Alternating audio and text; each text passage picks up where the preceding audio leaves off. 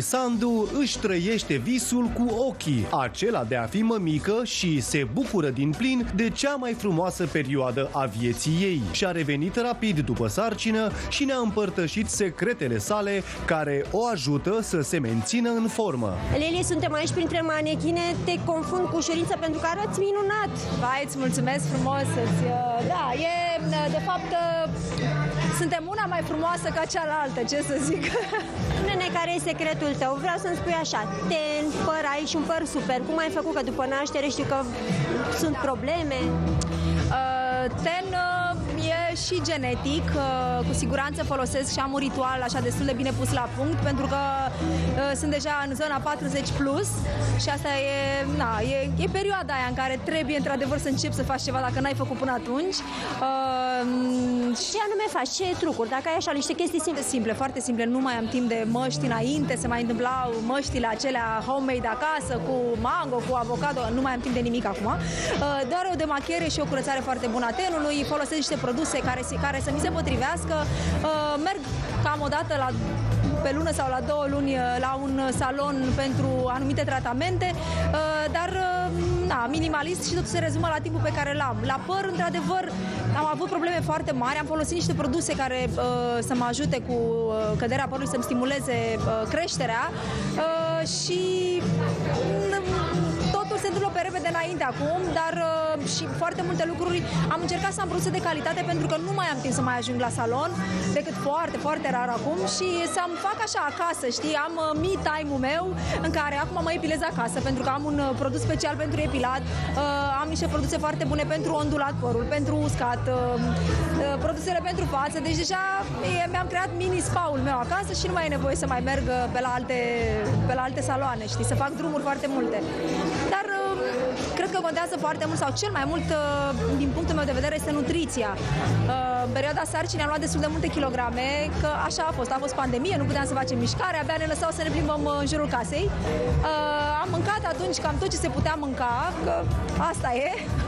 Eu am fost, uh, am făcut parte din categoria mămicilor care au zis, băi, stai mă, că o dată rămân, nu știu dacă mai rămân a doua oară, măcar acum să profit, știi?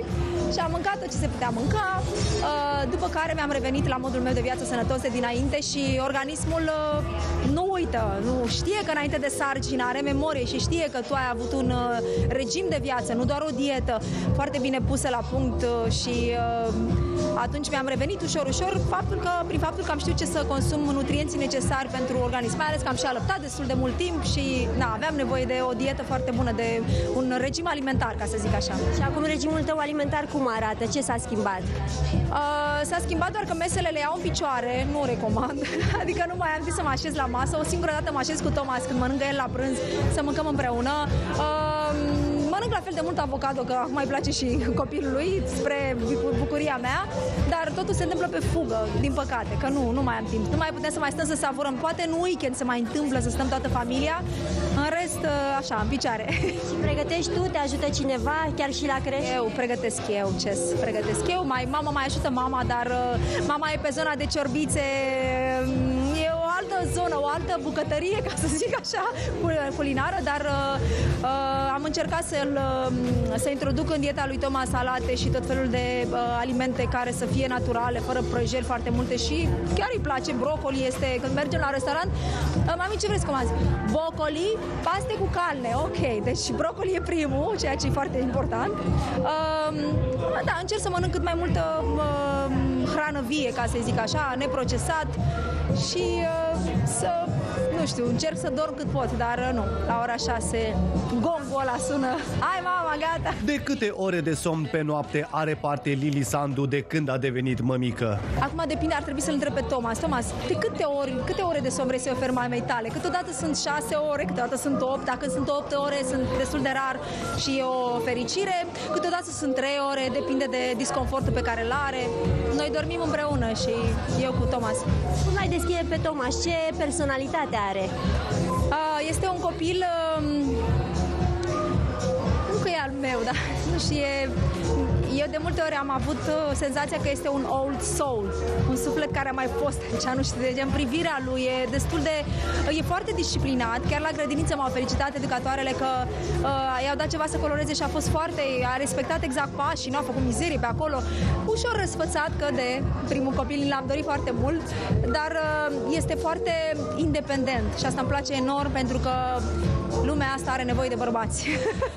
de bărbați în adevăratul sens al cuvântului și uh, aș vrea să-l, să încerc, să încerc, să-mi și reușească, să-l cresc în spiritul ăsta și mă bucur faptul că e independent. Asta e, asta e un prim pas.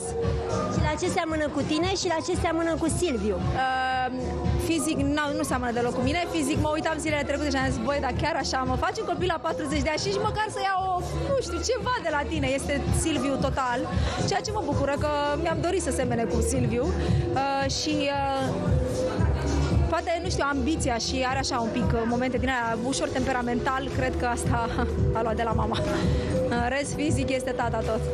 Și dacă, doamne, doamne, va vrea să mai apară un, un, o suriară, un frățior? Noi nu zicem nu, uh, că ce putem să facem. Câteodată simt nevoia să-l bag și pe ăsta la loc, dar nu mai am cum, că sunt momentele prin care trec, uh, dar și trece, cred că orice mamă, ne confruntăm de-a lungul timpului, dar dacă vrea Dumnezeu, am fi fericit să, să avem încă un copil. Deoc- nu ne avem în plan deocamdată, știi că trebuie să ne, să-l avem și în plan, încă nu-l avem. Îndrăznesc Nu avem timp să... Nu aveți timp să lucrați. Nu mai avem timp de lucru.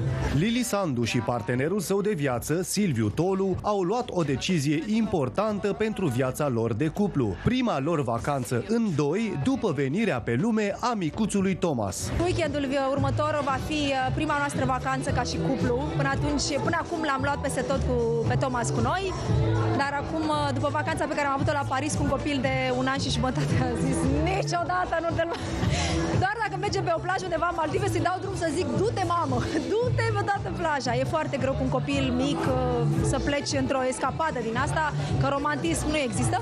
Dar să sperăm că o să ne iasă cărțile acum, să putem pleca o, să, o, să, o săptămână măcar două, trei zile, un weekend. Ce ți-a lipsit cel mai mult în acești doi ani de pandemie și vrei să te bucuri din plin acum în perioada asta care pare că de când normală? Exact, uh, socializarea și oamenii și prietenii, asta mi-a lipsit cel mai mult. Uh, eu am fost destul de panicată, mai ales în primul an al pandemiei, uh, nu în primul an, în primul an de maternitate s-a întâmplat în pandemie și am fost așa destul de reticent să luăm contact cu foarte mulți oameni. Așa, e, așa am fost eu, mai panicată, recunosc, nu știu dacă am făcut bine sau am făcut rău, dar copilul e cert că am trecut, am evitat cumva, am ocolit ocolit uh, virusul destul de mult timp și totul s-a raportat la sănătatea lui și la binestarea lui, bineînțeles. Acum ne reluăm activitățile cu prietenii și e, e minunat, ce să zic, chiar ne doream asta, ne era dor. Copiii când vin pe lume vin cu lecții de viață pentru noi. Ce ai învățat tu până acum de la Thomas? Că sunt convinsă că vei învăța multe, multe de acum înainte. Băi, dacă ar veni cu un manual de instrucțiuni, doamne, cât de fericite am fi mămicile, mai ales la primul copil. Uh, m-a m-a făcut un om mai bun. M-a făcut, mi-a, nu știu, mi-a dat un sens în viață și am înțeles lucrurile și înțeleg mai bine oamenii, mă adaptez mai, mult mai bine la tot felul de situații. M-a făcut nu mult mai răbdătoare, m-a făcut răbdătoare, că nu eram, nu aveam răbdare înainte, deci mi-a, mi-a dat această calitate de a, de a avea răbdare uh, și mi-a, mi-a arătat iubirea în adevăratul sens al cuvântului, pe care clar n-am cunoscut-o până la el. Lili Sandu are și un mesaj de suflet pentru toate mămicile. Știu, știu cum este, mai ales în prima an de maternitate, foarte greu, uh, dar uh, sper să vă consoleze faptul că toate trecem prin asta, indiferent de ce statut social ai, cu siguranță ne confruntăm fiecare în mai mare sau într-o mai mică măsură cu greutăți și am un cadou pentru voi. Tocmai astăzi am lansat jurnalul mamei, care este fix pentru femeile care se află în primul an de maternitate. Este, cum să zic, un instrument cu tehnici în colaborare cu un psihoterapeut, bineînțeles, cum să zic, mascanat așa în perioada, lucrez cam de un an, de, aproape un an de zile la el. Îmi pare rău că nu l-am avut atunci când, când l-am născut pe Thomas, dar vi-l ofer vouă cu toată dragostea. Uh, îl puteți găsi la mine pe pagina de Instagram. Uh, cu siguranță va fi și în librării.